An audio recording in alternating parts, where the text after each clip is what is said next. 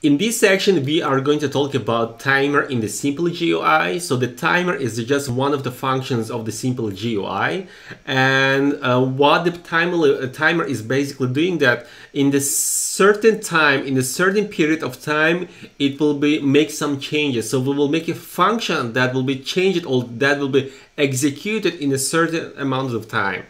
So let me just go ahead and see what we have so far and let me just run my code. So right now I have I have my perfect square and I have only one object which is which is text. So let me just go ahead and analyze. So right now we have a text and it says that I want to publish that one which is text over here which is converted text. Let me just go ahead and see. So right now I have a text and that is assigned to the zero. So right now the zero is integer, which is assigned to text. Now we need to convert to the string. That is important because right now in the text we need to provide string only. And after that we have a location. The location is provided over here. We have a size and the size is over here and also the color, which is color over here.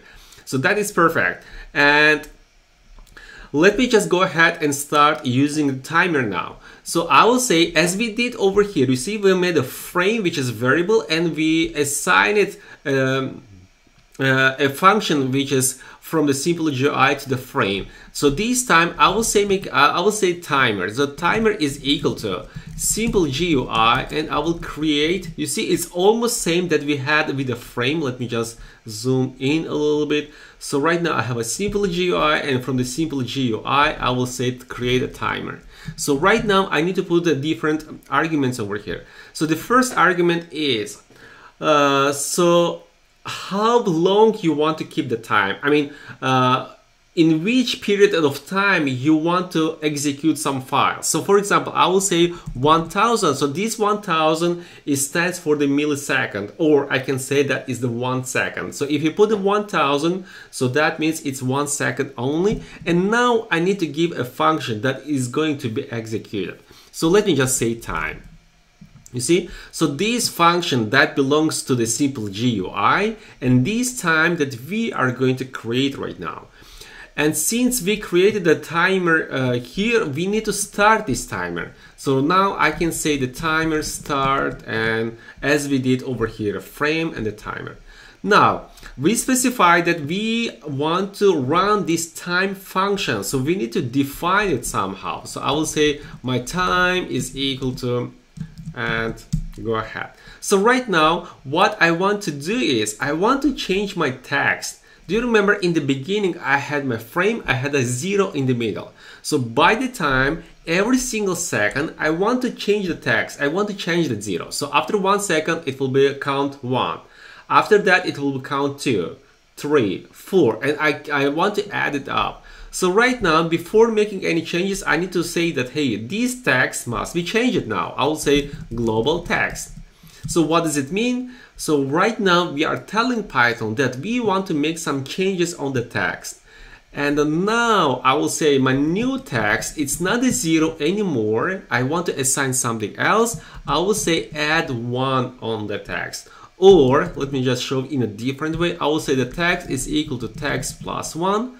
You see, what does it mean? So my text used to be zero.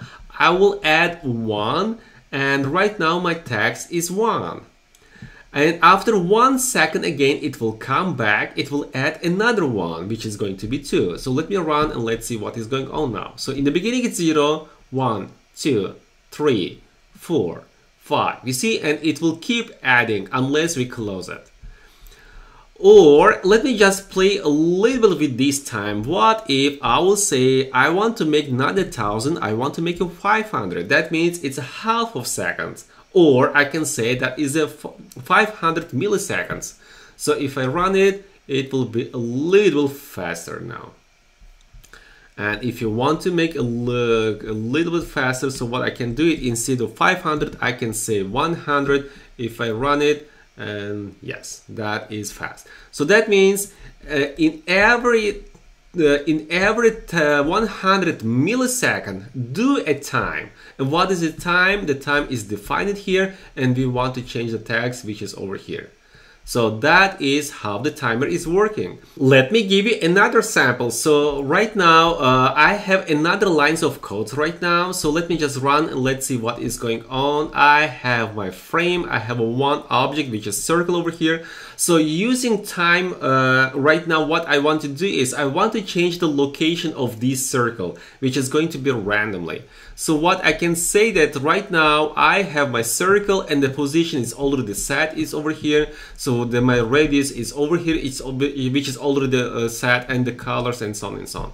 So what I can do is, so since I want to just randomize the position in a certain amount of time, so what I can say that uh, I need to import my random library now. So right now I will say that I want to set my timer which is new timer. From the simple GUI, I want to create a timer. Oops. Uh, and I will say that every one one second do a time. And the start time now. I will say timer start and close it open. So right now I need to define my time because we told that hey after one second do a time. And what is the time is, I will say, let me just define, let time. So right now, what I need to change, I need to change the position. So right now, I will say that global position, global position, uh, by the way, why it is red. Okay, global position. And here I will say that my new position you see my new position, it's not the middle of the frame now. I will say that which is equal to, and let me put, I will say from the uh, random library, rand integer. So my frame is a 500 by 500. I will say from 0 all the way to the 500. So what does it mean? That is my x value. So you see, right now my position was the middle of the frame on the x value and the middle of the uh, frame on the y values. And now on the x-axis, I will say randomize it and that is my range which is from the 0 all the way to the 500. And let me just copy and pass it over here. So right now it is going to generate random from here and generate random from here. So let me just run and let's see how it looks like. So after every single second, it just randomizes the position and it's, it's, it, is, it is working now. So let me just go ahead. I will do a little faster. Let me just take it 100 milliseconds and let's see how it looks like. So right now, in certain amount of time, it's just changing the position and the, the positions are randomly generated.